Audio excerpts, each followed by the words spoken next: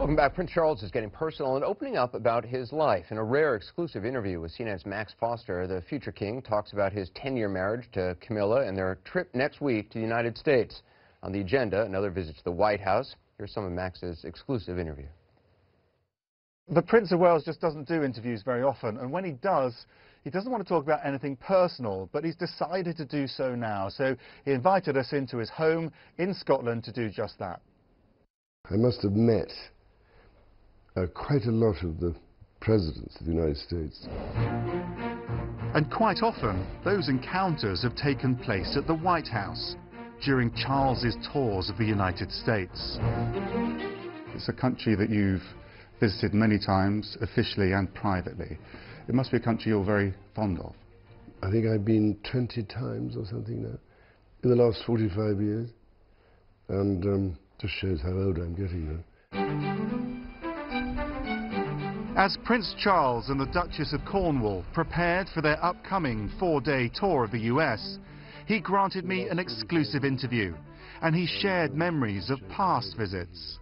I remember the first time was we were invited to stay, my sister and I, in 1970 at the White House by President Nixon for the weekend. That was quite uh, amusing, I must say. That was the time when they were trying to marry me off to Tricia Nixon.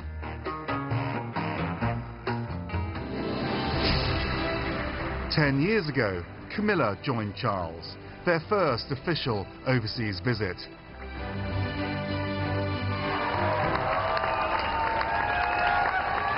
Two thousand and five, your first joint overseas tour with your, your new wife, the Duchess of Cornwall. What are your memories of that visit? well, I remember we had a very, very jolly time in California, I seem to remember. And, um, I mean, they were all so friendly there. Thank you for coming, sir. Thank you for coming.